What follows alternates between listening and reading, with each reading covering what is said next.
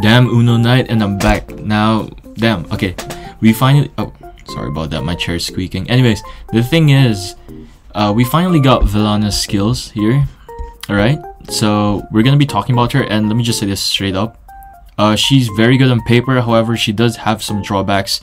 Um, the main thing to look at is her ultimate, which is undeniably the strongest now we have in the game, topping Talia by miles. Alright? Uh, we'll get into the calculations in a bit very quickly, right? Okay, so when it comes to Velanna, she is a warrior, so that means she is a melee unit. Uh, right off the bat, I'm expecting a decent defense. Hopefully, you know, honestly, with her sustain on her kit, at least 15k, right? 15k, and I'm happy. Uh, when it comes to attack, um, I'm expecting something kind of mid, like 60k. All right, but regardless, you know, we'll take it, right? Because she has so much multipliers. one of the highest we have in the game, rivaling even Ayame's. Good thing about Ayame is that she has the highest attack and also one of the highest damage multipliers in the entire game, which is absolutely bonkers, right?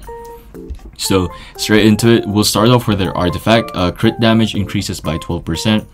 Now it does seem lackluster a bit, but attack plus 10% is really bad. I uh, maybe I'm misunderstanding that. Anyways, so let's say assuming we have legendary, and with a melee unit, her crit damage will be rough for somewhere around the mid 60s to uh, high 80s, alright?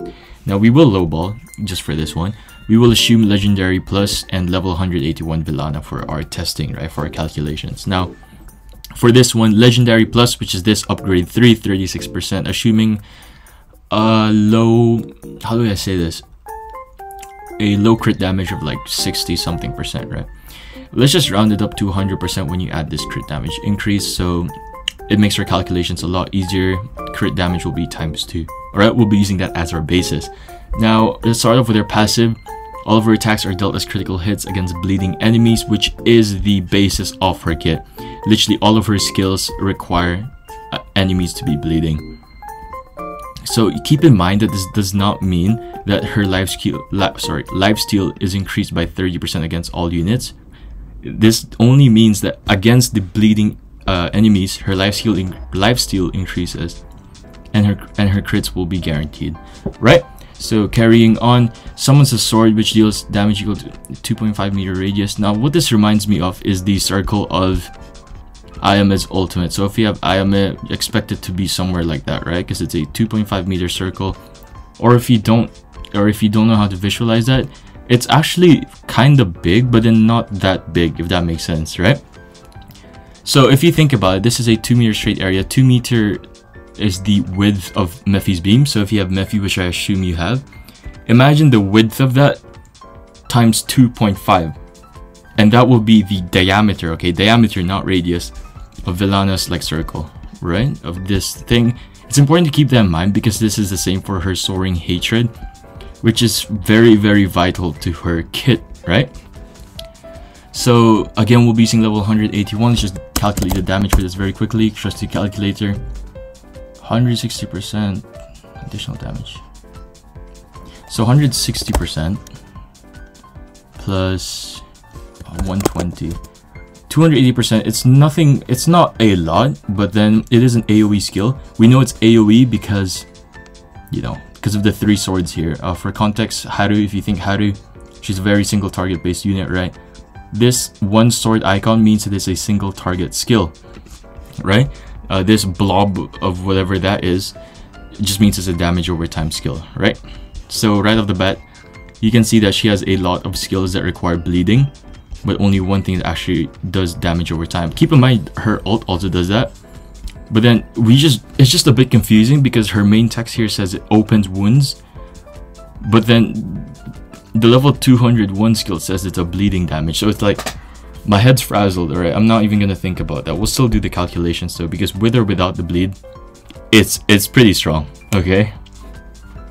Now, let's get into Soaring Hatred. So 110% of attack in 2.5 meter radius and making the target bleed, again, very vital. 50. So this thing only lasts 12 seconds, but again, we are going to assume level 181, so this will last 14 seconds or 7 turns. That's around like 3.5 attacks, something like that, right? Or 4 attacks. So again, very quick calculation. So 60, this is 60 times 7, again, because it's every 2 seconds. 60% damage times 7 is 420%. Plus 130, this is 550% damage, which is really good for an AoE skill, alright? That's a lot, that's a lot of damage, right? So again, really good. Now let's move on to Wild Dance. Slashes at the nearest and moves forward in a range of 5 meter length and 180 degree angle. So it's the nearest enemy, 5 meter length. This is the one that confuses me.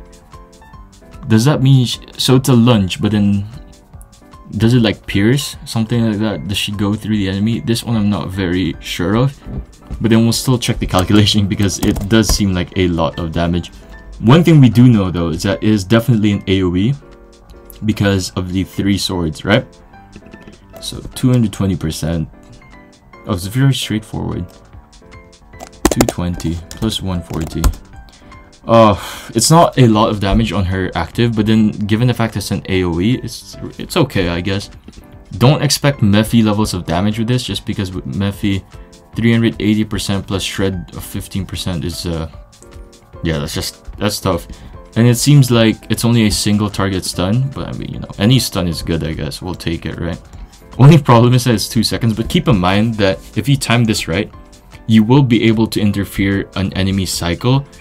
Uh, if you're not familiar, each character has its own different cycle, and if you know the enemy that you're dealing with, if you interrupt the start of their cycle, they will skip the next turn as well.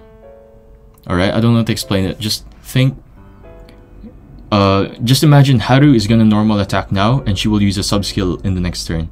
If you interrupt her normal attack, the first attack, she won't she won't like not attack the next turn, but then she will skip the skill if that makes sense. Alright, just replay that if, if if you don't know what I'm talking about. Anyways, the highlight of this unit is actually her ultimate.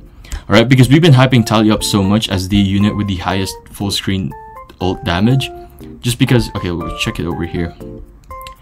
So 310% with a battery plus 225% 535% this thing just completely eclipses that. It's like it's not even close. Now in terms of burst Talia still will beat it but then bro if you think about it are you gonna have Talia's artifact at origin yeah, I don't think so. Does this mean Talia is a bad unit? Not even, alright? Talia is not mainly used for her ult. It's just nice to have, right? Because it does a lot of damage.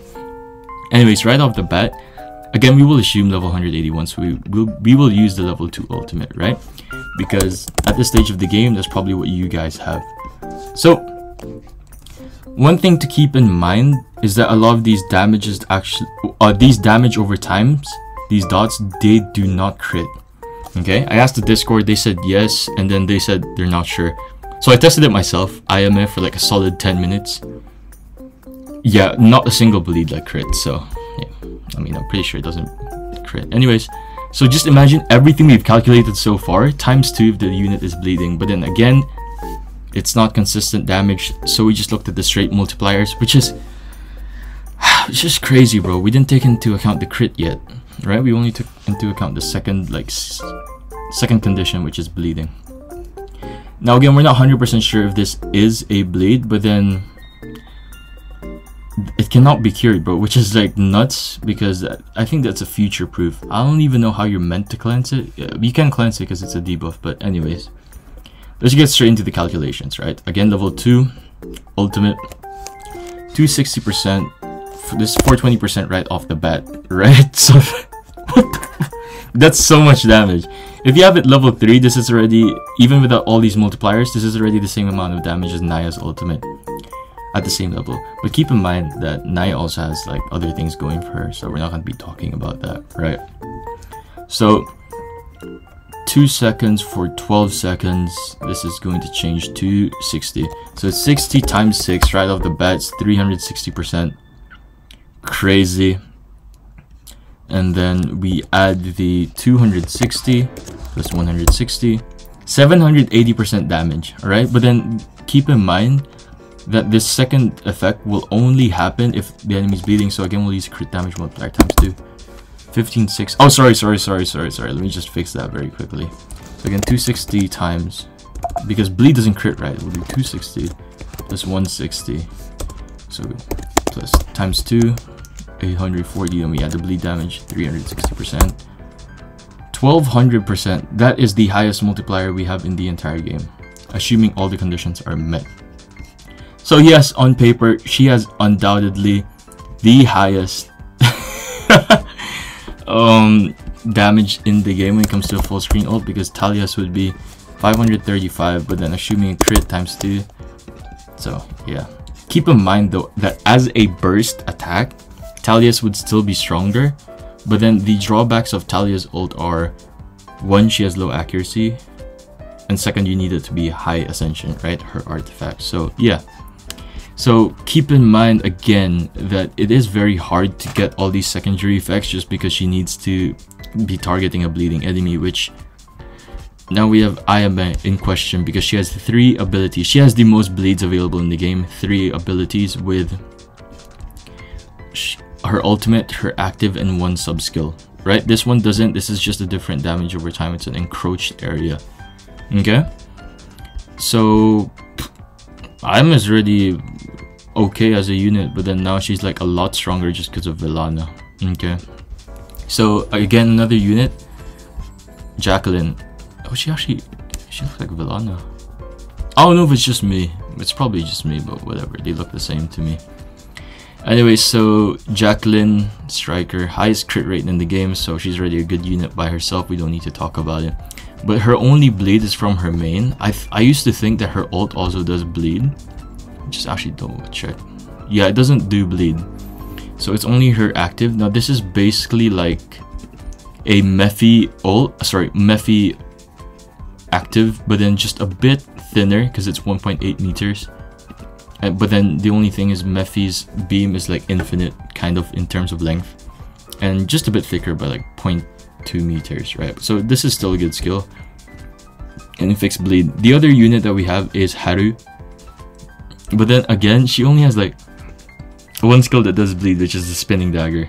So yeah, this is the only drawback of Velanna. Current stage of the game, we do not have enough units that do bleed because if you don't have Ayame or a decent Jacqueline, Velanna is not going to be as good as you expect her to. However, even without the bleed, her kit is already really good. However, it also poses the question, why not just use characters such as Mephi instead if you don't have these other things that make Velanna a good unit? Now keep in mind things will change because we do not have her out yet, but on paper, yes, she is a really good unit. Just a matter of, mm, I don't know. I will still pull for her 100% because my undergate is lacking, so if you if you're struggling with Undead Gate, Velanna will definitely help you out with that. Just because if you pair her with uh, Rebecca with that increased dot damage, yeah, you're gonna be doing a lot of damage. okay, and Jacqueline as well. In terms of normal content though, I'm not really sure if I can use her yet, just because, yeah, I don't know. I mean, I'll still pull for her. I'll get her to Eternal Plus, right? Because I need more units Eternal Plus. Okay. Alright, so if that was okay with you guys, if you like that analysis, please do consider subscribing because it helps us both. I'll be able to pump out more videos like this and you'll be able to keep up with that, right? So again, guys, we do have a technical Discord, so if you have any questions, we do have a lovely community and we want you to be part of it, alright? So, it's been Uno Night, and I'll see you in the next one.